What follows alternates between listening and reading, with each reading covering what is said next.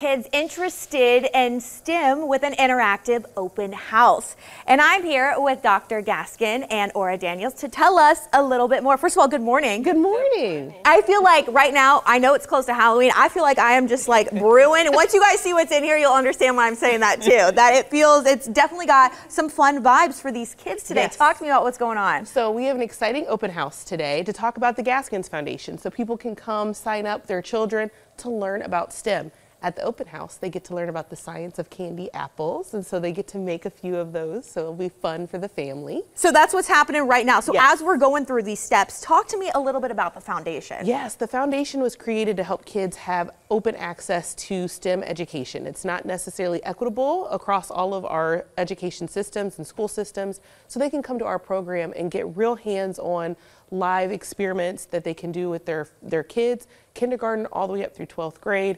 We have fun, interactive science experiments for kids. And why is it so important for you to bring this kind of interactive experience, this education to kids? Yeah, STEM is the future. Um, there isn't a world where we do not do not interact with science, technology, engineering, math, or medicine.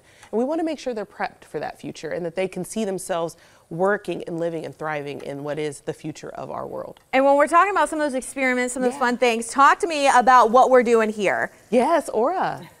So we are making candy apples. Uh, the science behind candy apples is the crystallization of the sugar. So what you do is you drop sugar, water, and corn syrup in there. You can add a little bit of color to make it fun. Our And- witch's brew right here. right. we went green. Uh, so what we do is you cook it, and what happens as you're cooking is the water starts to dissipate, and then it crystallizes the sugar to make it this shiny, beautiful thing at the end. And then you can add flavor to it, and it gives it a little pop.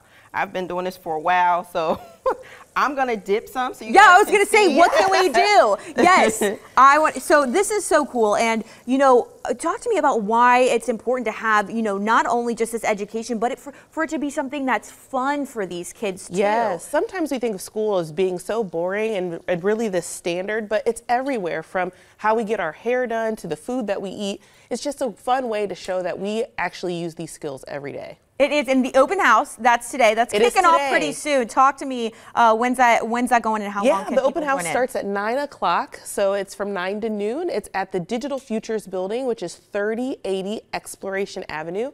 Please come out and bring your children. They'll have a fun day, interactive activities, and they can have the opportunity to sign up for our year-round program. So lots of opportunity for kids. Okay, here's the final steps. Uh, talk to me what's happening right now. So uh, the candy actually, we were close to crystallization. We didn't get all the way there. We're at the softball stage, which is still is still candy on We're the at the what stage? This is the softball stage. Oh,